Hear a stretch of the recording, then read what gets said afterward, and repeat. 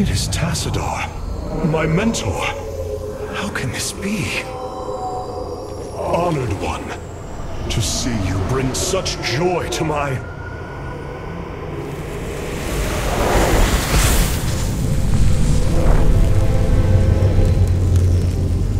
Tassadar, a form I chose to inspire action in the one called Zeratul.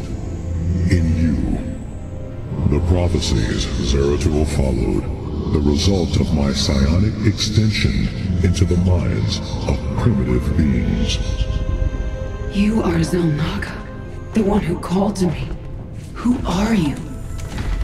Ouros, last shepherd of the cycle, enemy of Amon. He is one with the Void.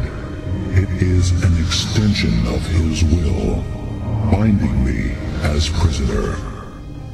Why have you summoned us here? The cycle must not be broken.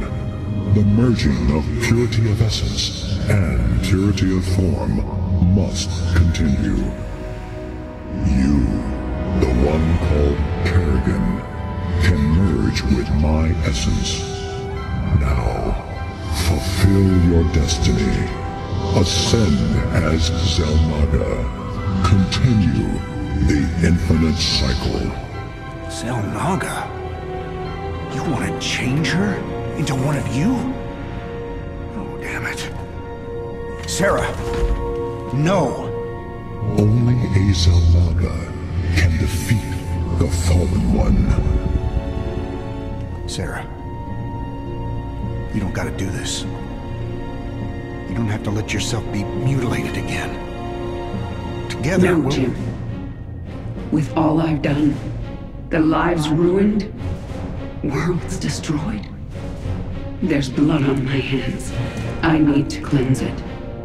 This is my destiny.